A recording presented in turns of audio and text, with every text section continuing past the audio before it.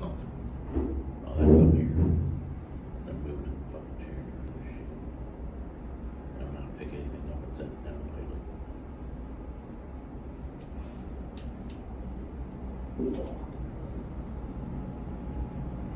Well, that was good for my video.